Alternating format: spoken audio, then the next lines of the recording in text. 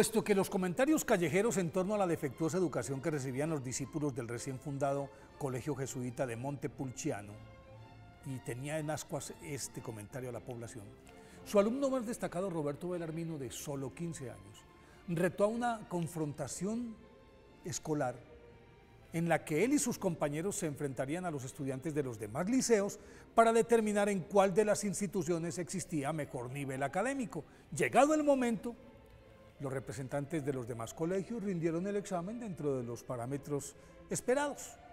Y a continuación los de los jesuitas desplegaron sus destrezas en matemáticas, gramática, humanidades, poesía, oratoria, retórica, latín, filosofía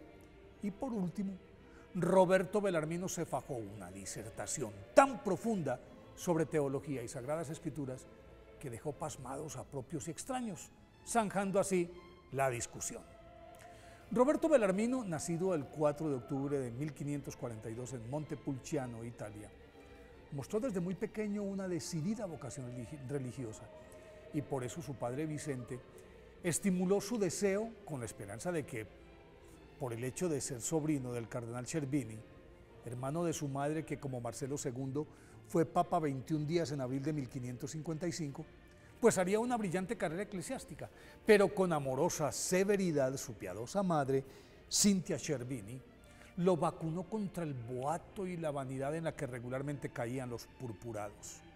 Entonces, con sabia precocidad, Roberto Belarmino escogió a la Compañía de Jesús porque uno de los votos ignacianos prohibía a sus miembros taxativamente aceptar obispados y cardenalatos. Luego de su brillante intervención en la controversia estudiantil,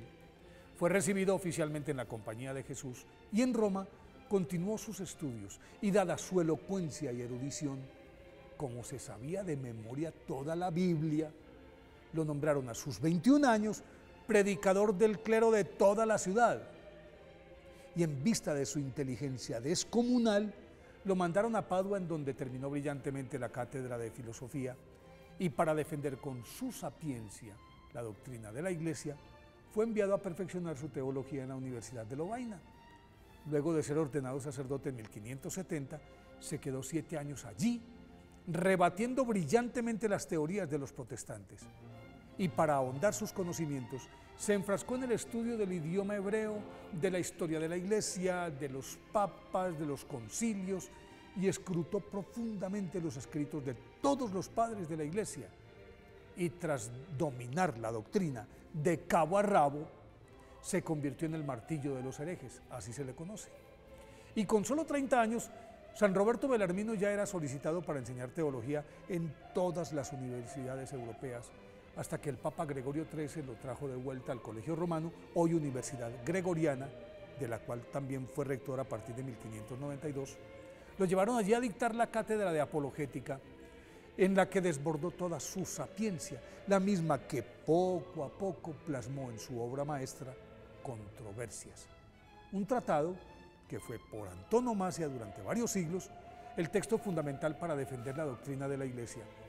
y con ella apabulló todas las creencias protestantes.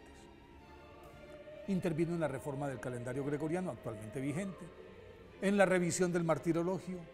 de la Vulgata, que fue la versión oficial de la Biblia de la Iglesia hasta 1979, del ritual romano y del breviario.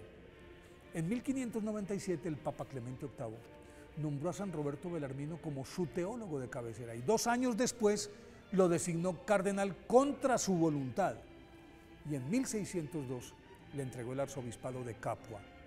pero no lo liberó de sus funciones curiales en la Santa Sede, a la que volvió tres años después por decisión del nuevo pontífice León XI, aunque en tres conclaves San Roberto Belarmino estuvo a punto de ser elegido papa, lo salvó su condición de jesuita y eso le permitió mantener su concentración y su consagración a las letras, a la oración, al ayuno y a la penitencia. Ese ritmo febril lo minó físicamente y murió el 17 de septiembre de 1621. Fue canonizado por Pío XI en 1930 y al año siguiente el mismo Papa lo declaró doctor de la Iglesia. Por eso hoy, día de su festividad, pidámosle a San Roberto Belarmino que nos ayuda a defender la doctrina de nuestra Iglesia Católica.